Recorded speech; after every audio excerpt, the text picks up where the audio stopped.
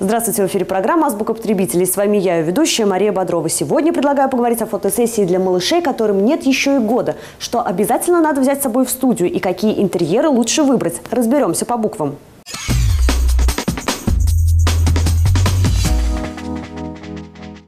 Азбука потребителя предлагает тестировать интерьерные студии двум маленьким моделям. Фотограф Елена Бочкарева начинает работать с юной леди. Параллельно мастер объясняет тонкости семейной фотосессии. Чуть-чуть прям с одного бока с подарочком, с другого бока. Вот, умница, зайка моя, и улыбаемся. Молодец. Угу. Теперь давай прилечь прям на бочочек. Ложись совсем. Можно на подарочек. Раз, облокотиться. Да. Вот, молодец. Здесь глупо придерживаться принципа «мы отдаем деньги, а вы делаете нам красивые снимки». Нужно понимать, успех фотосессии зависит не только от фотографа, но и от вашей подготовки к съемке. Помимо того, что вы соберетесь и придете в назначенное время на место, нужно продумать совместно с фотографом ряд деталей.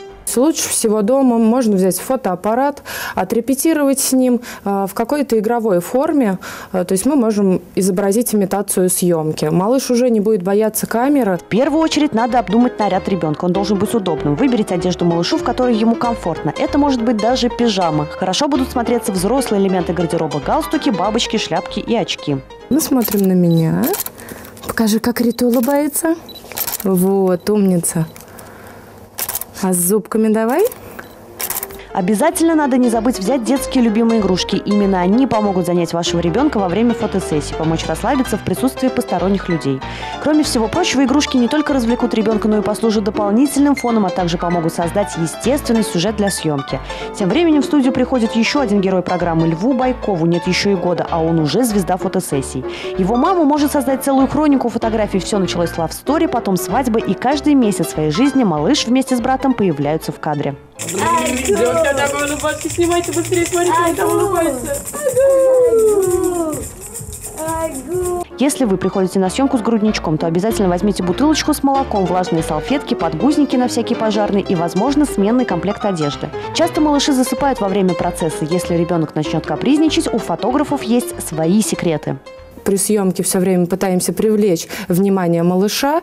Э, то есть у нас есть такие вот небольшие насадочки в виде крабиков. Ну, то есть это что-то такое детское интересное. До пяти лет, в принципе, мы можем этим пользоваться, да даже, в принципе, и больше тоже. Вот пока он ребенок, все это ему интересно, пока он играет в игрушки, что-то яркое, может быть, даже с некоторыми взрослыми тоже можно этим пользоваться. Не делайте замечаний своим детям, как бы они себя не вели во время фотосессии. Всегда жалко, когда веселый ребенок вдруг замыкается.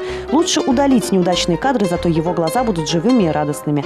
Если ребенок, напротив, серьезный, мамы часто переживают и пытаются помочь. Это только усугубляет ситуацию ситуацию. Улыбайтесь, рано или поздно ребенок улыбнется вам в ответ. Лев Михайлович сегодня вел себя очень хорошо, ему очень понравилось сегодня фотографироваться, вел себя спокойно, так доброжелательно улыбался нам. Отнеситесь к фотосъемке как к большому приключению. Просто живите в свое удовольствие. Вы можете взять любимые книжки вашего ребенка. Семья с улыбкой и весельем изучающие книжки отлично смотрится в кадре. Правильно выбранные элементы декора, общения родителей с ребенком помогут передать искренние эмоции и веселье. И как следствие вы будете довольны полученными снимками. При выборе студии обязательно обратите внимание на то, какой фотограф выставит свет. Это очень важный элемент при работе с детьми. При съемке мы используем мягкий рассеивающий свет, который не испугает ребенка. То есть это либо свет из окна, либо постоянный. Не используем вспышку. В хорошую погоду можно рассмотреть варианты съемки на улице. Малыш не будет ничем ограничен, и не надо будет просить сделать его что-то специально на камеру. Он будет играть и перестанет обращать внимание на фотографа. Это позволит сделать эмоциональные и интересные кадры. Можно подумать о домашней съемке. Здесь малыш будет в своей тарелке, и это очень удобный вариант для грудничков. Но у такой съемки есть один большой минус. Не всегда оригинальный интерьер или фон. Если вы определились местом, то выбирайте ценовую политику.